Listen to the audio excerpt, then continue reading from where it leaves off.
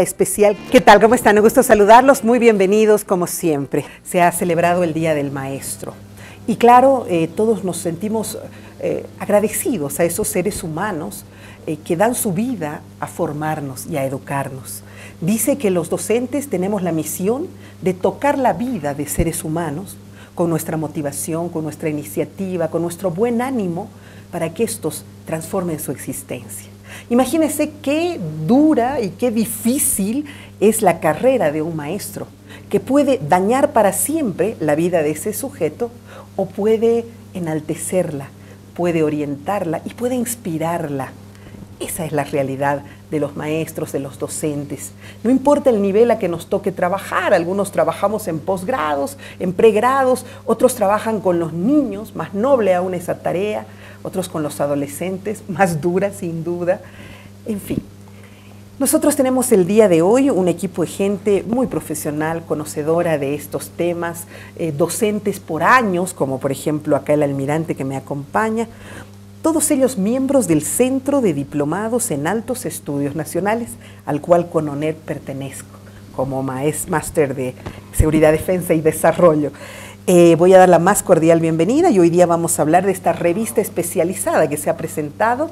Eh, saludo cordialmente al almirante eh, Jorge Zavala Ocio, almirante, además usted es la cabeza de este equipo de gente del Centro de Diplomados. Bienvenido, ¿cómo está almirante? Muchas gracias Verónica, me siento muy feliz de visitar este canal y participar con miembros del Centro de Diplomados de Estudios Nacionales para poder atender tu entrevista. Me parece Quiero agradecerte por todo esto. No, para mí es un honor tenerlo acá, imagínese. ¿Cuántos años ha sido usted docente? Yo he sido más de 40 años docente. 40. hoy día tenemos que hacerle un homenaje de ah, verdad eh, en honor al Día del Maestro. Qué, qué, gusto, gracias por estar aquí. ¿Cuántas vidas habrá tocado usted? De la misma manera doy la más cordial bienvenida al coronel Jürgen Bernal. ¿Cómo está, coronel? Buenos días. También miembro del Centro de Diplomados. Gracias por estar acá. Más bien agradecer la visita al canal la invitación y estamos complacidos a responder cualquier eh, interrogante que usted tenga. Bueno, vamos a un poquito promover esta revista que se ha hecho y que me parece eh, eh, ideal que la trabajemos en una coyuntura como la que vivimos en este momento del tema marítimo y de nuestra demanda ante la Haya, etcétera. Doy la más cordial bienvenida al capitán de navío Antenor Agramón, también miembro del Centro de Diplomados. ¿Cómo está, capitán? Bienvenido. Bueno, gracias. Agradecido por este espacio publicitario, una valiosa oportunidad para mostrarnos ante nuestra sociedad y ante el país. Gracias, le agradezco mucho. Hace algunos días atrás se eh, presentó esta revista que hace, un, que hace un compendio completo de trabajos de investigación que han realizado los profesionales en este rubro. Se dedica a lo que es el tema marítimo, porque estamos en una coyuntura, decía. Almirante, ¿por qué dedicado justamente a este tema? Bueno, Verónica, en realidad la Armada Boliviana, que nace el año 1963, el 4 de enero, eh, es el momento en que yo ingresé también a la vida militar. Eh, egresé en la Argentina como oficial de Marina, Guardia Marina, el año 69. y, luego del viaje de instrucción en la Fragata Libertad, un viaje que dura 10 meses, dando la vuelta al mundo en un velero que se llama Libertad, porque realmente en los océanos lo que se siente es la libertad que tiene el hombre para llegar a cualquier parte del mundo. Eh, a partir de ese momento que retorné al país me dediqué mucho a trabajar por mi institución, que la quiero muchísimo, y he visto de que ahora que se habla mucho del mar, ni siquiera en la revista El Libro del Mar figura la Armada Boliviana, y es la institución más emblemática que expresa el sentimiento nacional de volver al mar. Eh, además, por siempre, desde su conformación, uno de los objetivos primarios fue ese precisamente. Así es. Y eso es lo que yo observo en el libro del mar. De manera que nosotros hacemos aquí en esta revista un breve comentario de lo trascendente que ha sido la, Armada Boliviana en estos 55 años de vida que tiene esta Armada que hemos heredado nosotros, porque hemos creado esta Armada el 4 de enero del 63 a consecuencia del problema del río Lauca. Claro que sí. Pero entonces esto viene siendo como una especie de reivindicación eh, ante esa, esa apatía que ha habido de parte de los historiadores, al no reconocer eso, ¿cierto? Y fíjese que hay en las fotos que tengo ahí en esa revista, estoy con el comandante en jefe de la Armada chilena, porque tuve la oportunidad de visitar eh, Santiago y Valparaíso eh, el año 83 y estaba el almirante Jorge Patricio Arancibia, el comandante en jefe, y aquí está la visita. y esta visita, 1998, perdón, acá, está la, la foto en reunión de comandantes de armada del sistema interamericano, y participé en esta reunión en Chile, porque había necesidad de tener un acercamiento con la Armada chilena. No se olvide que el problema que tuvo Pinochet tanto eh, en el abrazo de Charaña como en el enfoque fresco, se debió a que la Armada chilena se opuso tenazmente a darle una salida soberana a Bolivia. Yo tuve la oportunidad de hablar con este almirante que luego fue senador en Chile y visité Chile por que en alguna oportunidad visitó la Loma Suárez, donde yo era comandante, el doctor Jorge Siles Salina con la mamá de Carlos Mesa fueron a hacer estudios. me parece eh, casi contradictorio, ¿no? Sabiendo que de repente la Armada chilena ha sido uno de los que se ha opuesto y que ha entorpecido aquella negociación que estaba altamente avanzada, usted se acerca a ellos. ¿Por qué, almirante? Para ablandar un poco la dureza que tenía la Armada chilena con Bolivia, ¿no? Es decir, ¿Cuál era eh, su, percepción? Porque estamos hablando de muchos años después, ¿no? Claro, lo que pasa es que cuando me visitó el doctor Jorge Siles Salina con la mamá de Carlos Mesa, la señora eh, en la Loma Suárez, Teresa, Teresa, Gisbert, eh, me charló, me dijo que él viajó a Chile como cónsul precisamente porque su cuñado era el canciller de Pinochet. Y a consecuencia de esa reunión familiar que tuvo, le habían comprometido a que iban a, conseguir una salida soberana para Bolivia. Y ese intento fracasó por la Armada chilena. Imagínense. O sea, que ellos son en, realidad en este momento eh, la piedra en el zapato. De repente el gobierno hasta podría tener la intención de hacerlo, pero está siendo perjudicado claro. por Entonces, su Armada. Hay necesidad de acercarse, y ablandar. Y fíjense que luego conseguimos algunas cosas porque la Armada chilena nos abrió inclusive sus institutos para formar a nuestra gente. Hay oficiales de la Armada Boliviana que han egresado de la Escuela de Guerra de Estado Mayor de Chile. ¿Quién diría, no? Ya, y a consecuencia de esta visita, que de todas maneras esos camaradas, estoy seguro que tienen otros camaradas chilenos que tienen otro tipo de relacionamiento hoy en día. Una estrategia completamente diferente a la estrategia confrontativa que por lo general se practica. Y ese fue el motivo que visité. Entonces, hacemos acá un reconocimiento de que la Armada ha trabajado primero por levantar la conciencia marítima de este país, de estar presente en estos escenarios internacionales con en las mismas condiciones que los países que tienen litoral marítimo, ¿no? Mm. Entonces nunca ya nos han discriminado de ninguna naturaleza, de manera que estas reuniones internacionales han favorecido realmente a que tengamos un mayor acercamiento. acercamiento. Sabia decisión, almirante, la celebro desde todo punto de vista. Creo que esas acciones que en realidad son diplomáticas se deberían practicar con mayor frecuencia. En la cercanía de los pueblos, el encontrar coincidencias, el ver que somos lo mismo, ¿no es cierto? Y, vernos cara a cara, sin duda alguna puede ablandar significativamente aquello. Voy a hablar eh, de otro de los artículos muy interesantes que se han presentado en esta revista y es justamente el de el coronel eh, Jürgen Bernal. La punta del iceberg, la aspiración marítima boliviana y sus implicancias para la seguridad y defensa de Chile. Eh, un resumen ejecutivo que ha hecho de este libro, que es fantástico, lo he leído y que devela muchas de las intenciones chilenas. Coménteme, por favor.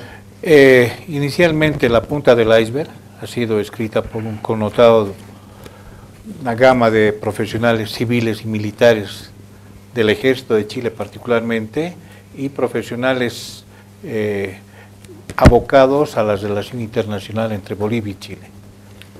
El libro hace un resumen ejecutivo de, de todas las dimensiones de poder político, económico, social, militar, desnuda la realidad nacional del Estado boliviano, para que a partir de, ese, de esa información obtenida de inteligencia estratégica puedan determinar aquellas implicancias para la seguridad y defensa de ese país. Si usted tuviera que hacer referencia a una de estas, eh, digamos, de, de, los puntos más impactantes del libro, ¿a cuál se referiría, coronel? Yo me referiría particularmente a la, a la situación que abarca la dimensión eh, político-estratégico, uh -huh. en el sentido de que en el supuesto caso de que Chile accediera a un, un acceso soberano al Océano Pacífico para Bolivia, el libro manifiesta de que a partir del momento ese que tengamos algún cierto una sesión territorial uh -huh. puedan tener la aspiración a reclamar algún territorio que en, en, la oportunidad ha sido nuestro antes de la invasión de 1870. Totalmente cierto. La verdad es que este libro deberíamos leerlo todos los bolivianos, claro ¿no? que sí. porque es un libro que nos está demostrando las estrategias que tiene Chile y hasta dónde puede está, está dispuesto a llegar. Particularmente está orientado al público blanco chileno, Ajá. claro que no ha sido de, de distribución en el territorio nacional boliviano, Ajá. sino para aquellas personas que han tenido acceso al libro de la, la, punta del iceberg.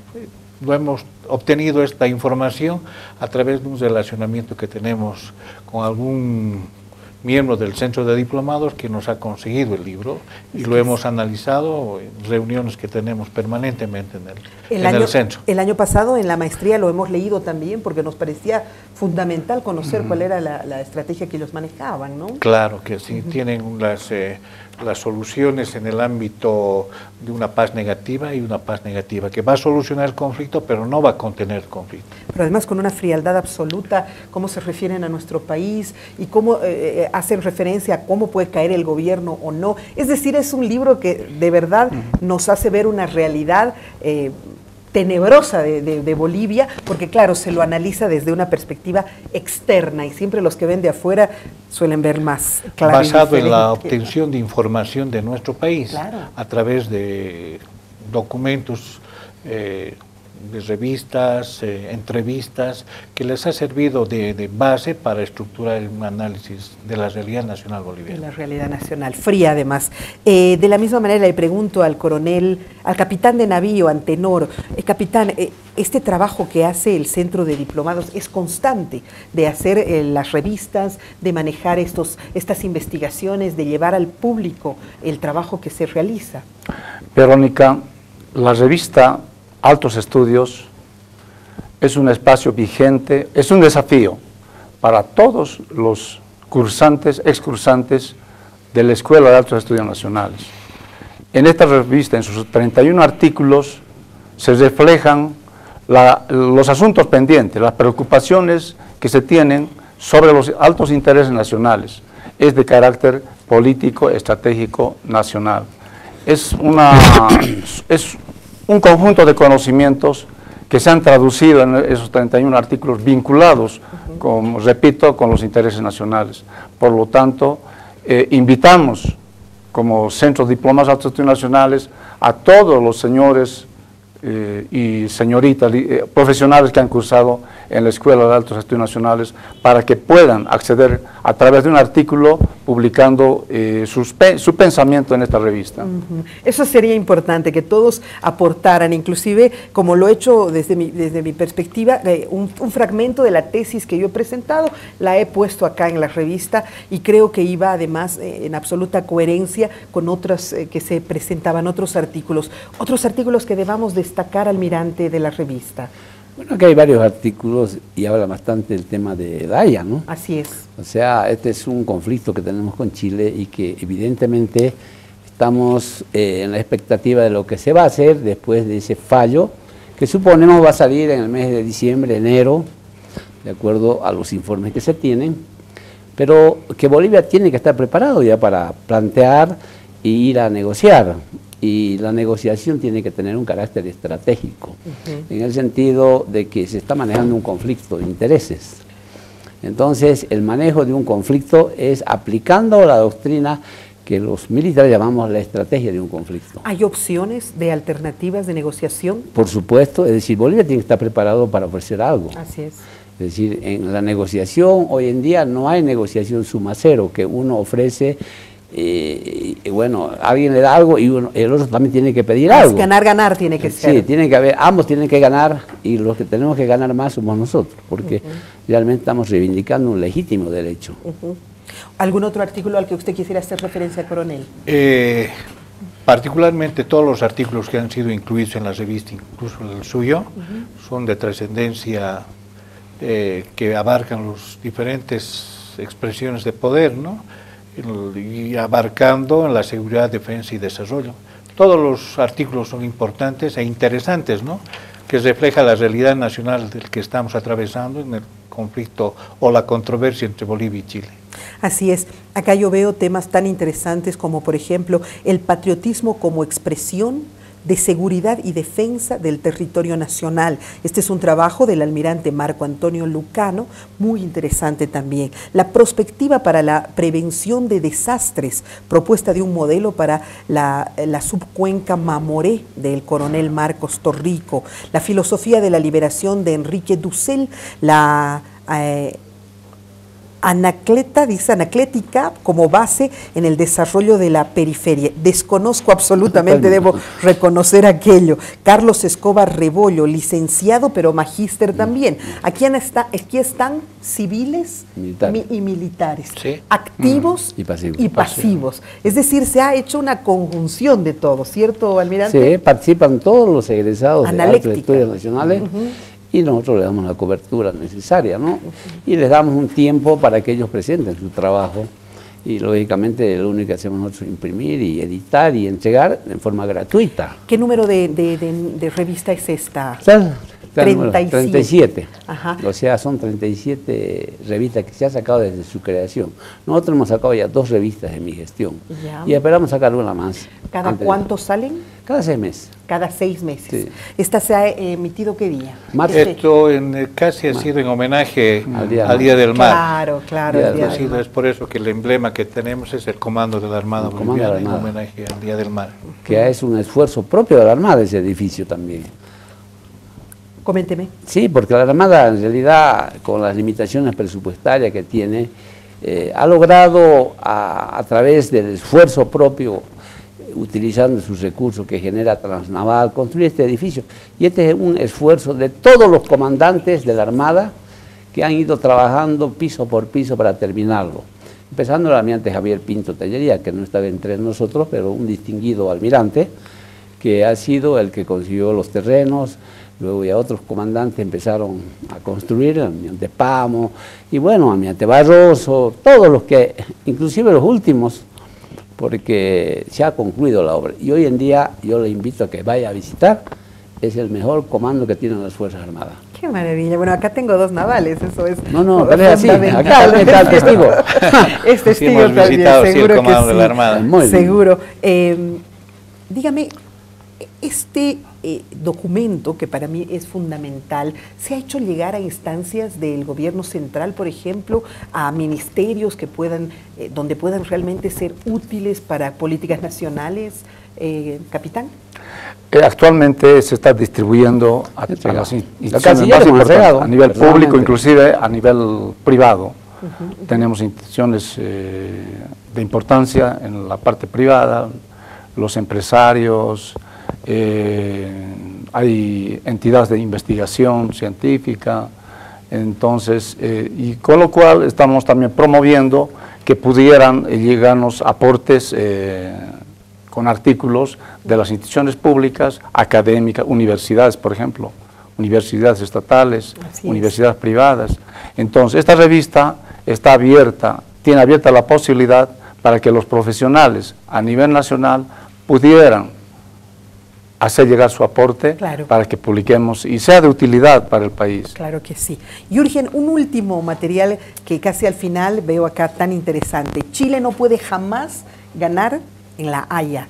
Usted hace este, ese artículo, ¿a qué se refiere? Es una recopilación de un artículo que ha salido en el Internet y también en el periódico La Tercera de Chile, considerando de que nosotros como Centro de Diplomacia en Altos Estudios Nacionales hacemos un seguimiento a toda la información que pueda afectar a los intereses nacionales de Bolivia, particularmente de Chile. Y uno de estos artículos que escribe, que escribe el doctor eh, Rodríguez Elizondo, también que es artífice de la publicación de la punta del iceberg, explica de que existe la posibilidad de que Chile eh, no pueda tener un fallo favorable en la Haya. De ninguna manera. No vamos a decir más que la gente interesada busque este material. ¿Dónde se lo puede tener? Está en las instalaciones que queda en el edificio de la primera, al piso 13, el Centro de Diplomado de Altos Estudios Nacionales. ¿Tiene costo? ¿Tiene interés? No, es gratuito. gratuito. Es gratuito. Eh, me imagino que cualquiera de quienes están estudiando en este momento altos estudios, en fin, pueden ir y, recibirlo. ¿Tenemos todavía algunos tenemos, ejemplares? Tenemos ejemplares porque hemos mandado también al interior, ¿no? Tenemos filiales del CEDAEN, La Paz, Cochabamba, Santa Cruz y Tarija. Y se envían estos ejemplares allá y de manera gratuita también. Muy bien, ha sido un gusto tenerlo, almirante, que ha sido un honor además ser parte de toda esta, de toda esta eh, compilación que se ha hecho, este compilado de, material tan, eh, yo creo que puede aportar tanto a nuestro país. Gracias por haber estado. Gracias a usted, Verónica, y esperamos también que nos visite por allá, Voy a estar. para que conozca las instalaciones y vea que trabajamos también por el país. Sin duda, claro que sí. Capitán, un honor haberlo tenido. Gracias. Hasta otra oportunidad. Hasta la próxima, gracias. Eh, coronel, lo mismo, ha sido un gusto tenerlo en el programa. Agradecer por la invitación y esperamos recibirla también en el Centro de Diplomadas para que podamos compartir en una reunión de análisis que normalmente los realizamos. Pero claro que sí, va a ser un honor. Sería también importante que hagamos una especie de conferencia donde cada uno de nosotros exponga un poco de lo que ha presentado en, el, en, el, en la revista y podamos promocionarlo acá en el canal. va a ser un gusto. Un, un, gusto de nuevo. Gracias. a ustedes. Hacemos una muy breve pausa. Enseguida regresamos. Tenemos a los ejecutivos de Cotel La Paz para poder hablar de cómo está nuestra cooperativa.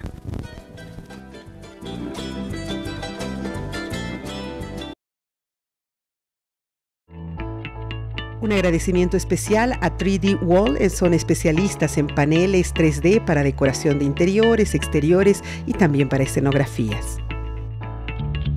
El exiliado, la novela escrita por Luis Oruco Barba, que relata los crímenes de las dictaduras y denuncia al exilio como un atentado contra los derechos humanos. El exiliado Adquiérelo en las mejores librerías del país.